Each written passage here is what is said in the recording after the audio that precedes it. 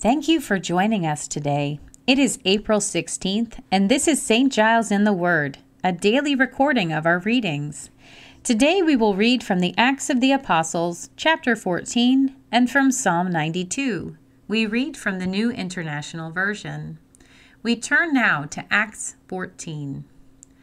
At Iconium, Paul and Barnabas went as usual into the Jewish synagogue. There they spoke so effectively that a great number of Jews and Greeks believed. But the Jews who refused to believe stirred up the other Gentiles and poisoned their minds against the brothers. So Paul and Barnabas spent considerable time there, speaking boldly for the Lord, who confirmed the message of his grace by enabling them to perform signs and wonders. The people of the city were divided. Some sided with the Jews, others with the apostles. There was a plot afoot among both Gentiles and Jews, together with their leaders, to mistreat them and stone them. But they found out about it and fled to the Lycaonian cities of Lystra and Derbe, and to the surrounding country, where they continued to preach the gospel. In Lystra, there was a man who was lame. He had been that way from birth and had never walked.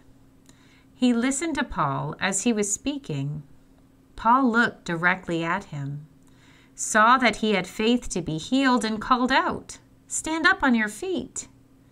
At that, the man jumped up and began to walk.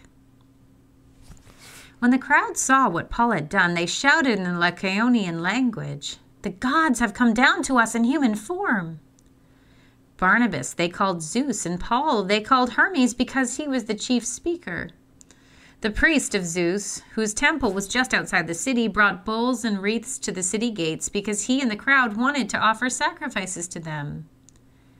But when the apostles Barnabas and Paul heard of this, they tore their clothes and rushed out into the crowd, shouting, Friends, why are you doing this? We too are only human like you. We are bringing you good news, telling you to turn from these worthless things to the living God, who made the heavens and the earth and the sea and everything in them.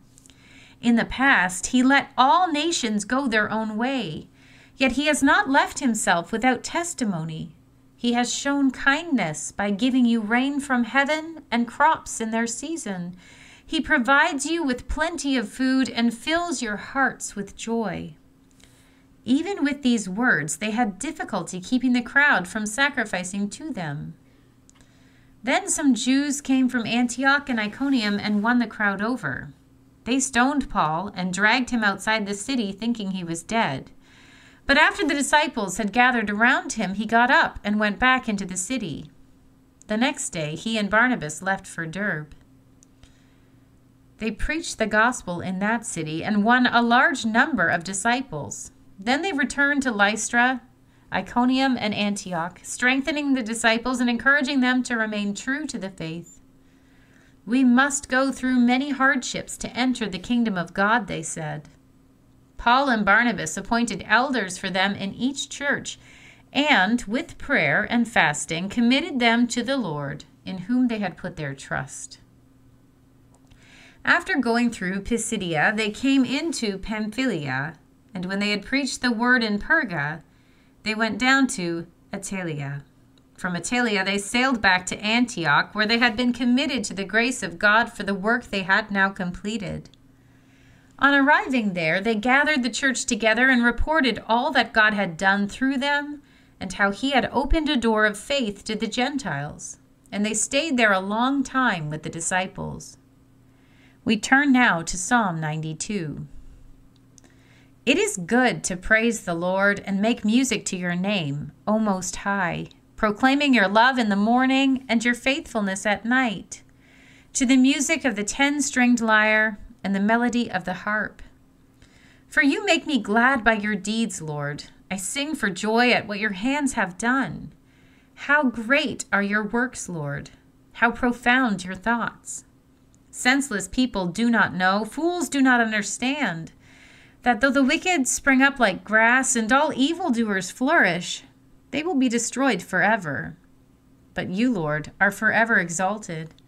For surely your enemies, Lord, surely your enemies will perish. All evildoers will be scattered. You have exalted my horn like that of a wild ox. Fine oils have been poured on me. My eyes have seen the defeat of my adversaries. My ears have heard the rout of my wicked foes. The righteous will flourish like a palm tree. They will grow like a cedar of Lebanon. Planted in the house of the Lord, they will flourish in the courts of our God. They will still bear fruit in old age. They will stay fresh and green, proclaiming, The Lord is upright. He is my rock, and there is no wickedness in him. Here ends our readings for today.